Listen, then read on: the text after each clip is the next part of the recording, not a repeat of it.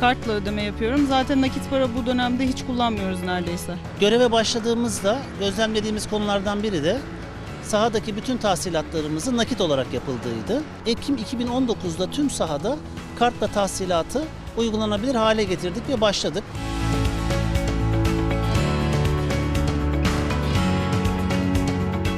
%1 de olsa karımızdadır yani %5 de iyi bir rakam. İyi düşünülmüş. Temassız kartla kullanılması da aslında daha iyi. Bu para zaten pandemi yokken de nakit paranın kullanılması zaten çok sakıncalıydı. Yaklaşık şu anda toplam saha tahsilatımızın %30'u kartla yapılmakta. Hem İstanbul kart hem kredi kartı ile ödenebilmekte. Temassız ve mobil ödeme seçeneklerini de zaman içinde ekledik. Özellikle pandemi koşullarında temassız ödemenin de önemini e, çok daha fazla gördük.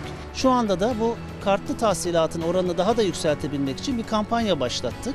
Kredi kartı ve İstanbul kartlı ödemelerde hem temassız hem mobil uygulamada dahil olmak üzere %5'lik bir indirim uyguluyoruz.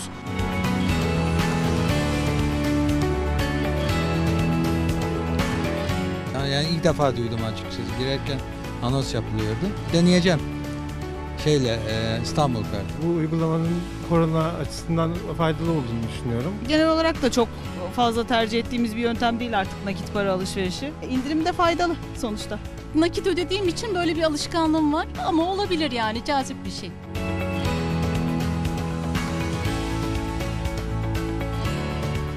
şey hem maliyet açısından hem pandemi açısından faydalı bir şey bence. En azından parayı bir, birden fazla insanın eldeydiği için kredi kartına sadece kendimiz değdiği için bir sıkıntı yok yani.